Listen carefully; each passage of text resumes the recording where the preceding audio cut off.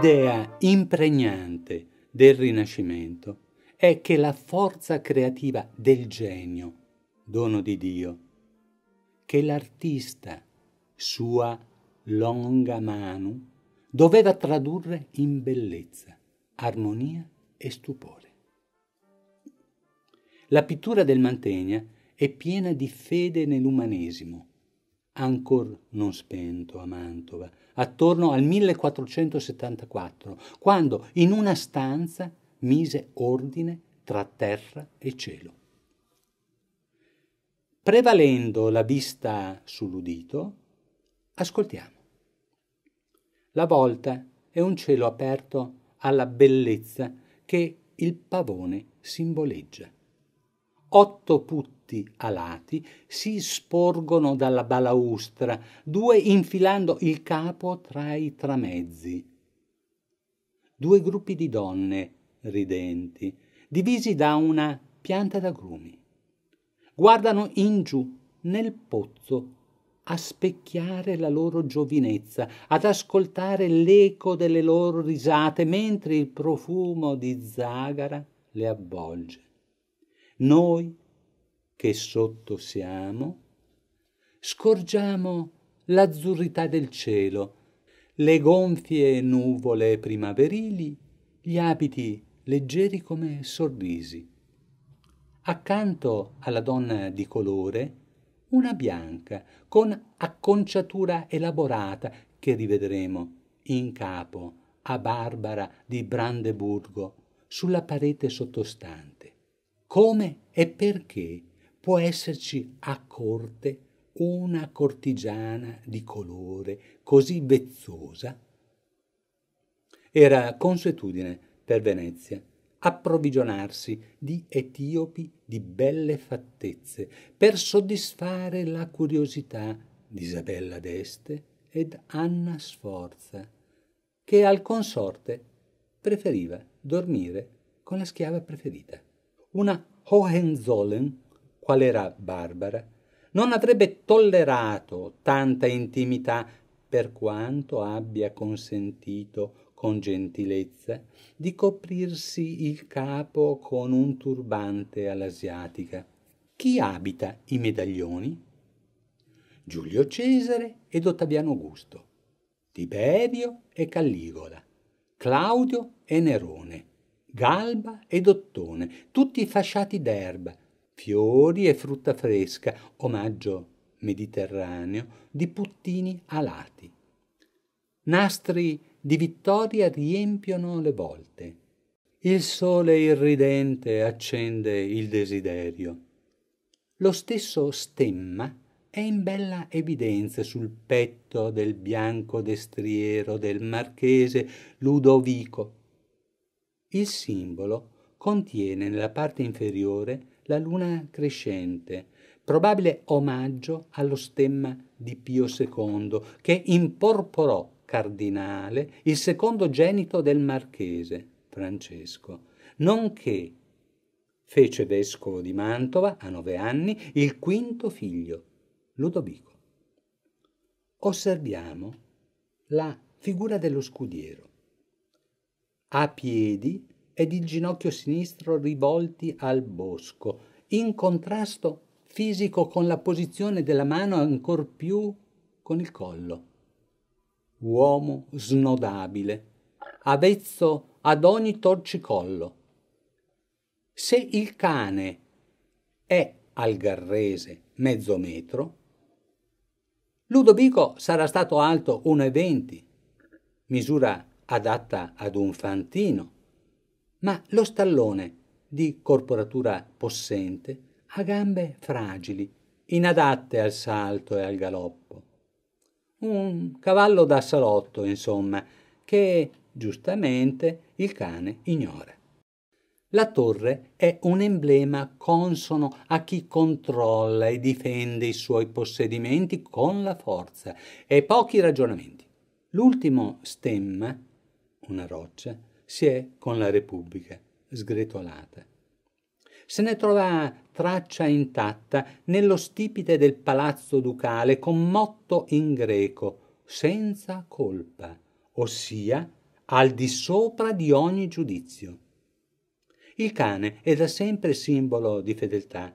Questo però sembra ululare o uggiolare, sospeso nel soffitto, si sente a disagio, preferisce accucciarsi sotto il faldistorio del padrone, mentre dispone irreprensibilmente.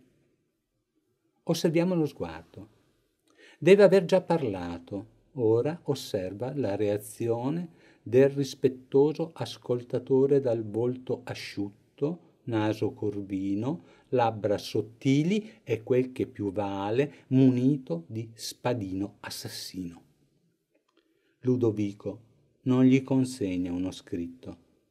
Ciò che ha detto deve imprimersi in un cervello agile nel trasformarlo in azione. Ludovico in scranno si confida con il vicario, sicario di corte, Raimondo De Lupi. In nome Ome.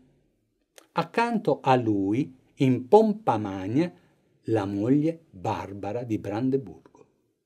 Dietro di lui il figlio Gianfrancesco dal berretto rosso, il piccolo Ludovico e con la mela la figlia Paola. Alle spalle della sposa Rodolfo, il figlio da lei prediletto. La nana dal volto deforme è Cecilia Gonzaga, che ci ricorda la malattia che la stirpe portava nel sangue, il rachitismo deformante. Paola Malatesta, sposa di Gianfrancesco, ne fu colpita dopo le nozze e la trasmise a Ludovico e a Carlo. Grazie alla dieta e alla ginnastica di Vittorino da Feltre, Ludovico contenne la gibbosità. Allarghiamo la scena. È il primo gennaio 1462 e si celebra la nomina a cardinale di Federico Gonzaga, avvenuta pochi giorni prima, il 18 dicembre 1461. Il personaggio, con cappello nero, volto pallido ed occhi socchiusi, potrebbe essere il benemerito Vittorino da Feltre. La bella giovane dietro l'infelice nana potrebbe essere la sorella Barberina ed accanto a lei ci può stare Cecilia, ormai monaca. La figura maschile con i guanti in mano e l'atteggiamento partato per taluni sarebbe il Mantegna. Nato a Piazzola sul Brenta nel 1431, avrebbe avuto 31 anni e ci può stare il giovinetto con spada. Per l'età e l'atteggiamento potrebbe essere Rodolfo, il quarto figlio di Ludovico. Degli altri possiamo immaginare cerimonieri, amici, figure d'addobbo. Osserviamoli tuttavia da vicino. Sei personaggi maschili calzano in rosa la gamba sinistra ed in bianco la destra. Fa eccezione il faccendiere confidente del marchese. Poco convincente è l'incrocio di gambe sulla scala tra i due rivolti verso la nostra destra. Quello con vestito in velluto vede la sua sinistra malamente inserita nel busto. Alla sua sinistra quello con giubba dorata è in posizione certamente errata. Se la sinistra rosata è un gradino sotto, le spalle dovrebbero essere inclinate alla sua sinistra. Passiamo alla parete opposta. Vediamo un segretario sconosciuto, il marchese, la sua famiglia e da figura piena il cardinale Francesco fresco di età e di nomina. Sotto di lui il futuro cardinale Sigismondo Gonzaga. Leon Battista Alberti, di profilo, ammira il paesaggio, mentre Mantegna distrae lo sguardo dal futuro marchese Federico I, primogenito di Lodovico. L'incontro per noi è terminato con le presentazioni. Preferiamo guardarci attorno. Da sinistra, tra le nuvole, sospesa una città turrita gravita su un arco naturale attraverso cui s'allarga una collina primaverile. Un gennaio caldo o una libertà d'artista. Tutto italiano è il gusto di costruire abusivamente. Che ci sta a fare quella torre grossolana sopra al bianco monastero? È quell'informe mascherone capace di graffiare le nuvole? Un florilegio, quasi se ne avverte l'odore, contorna servi e segugi. Sopra la porta angiolotti s'affannano a sollevare la tavola delle lodi mentre un paesaggio degno di miglior fattura offende la nobile natura. Finalmente l'occhio trova pace oltre l'albero mai visto. Una scultura romana, un tempio rinascimentale.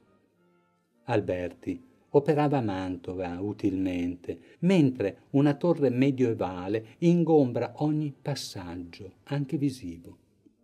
Dietro, suppongo, si possa vedere Montagnana, trasportata in collina e lontani profili di prealpi, oltre il Garda. L'Appennino da Mantova non si vede. La festa è finita. Le tende sono pronte a chiudere la scena. Se è camera, è tempo di far uscire gli ospiti, spegnere le candele e da sotto il pozzo attendere l'arrivo delle stelle.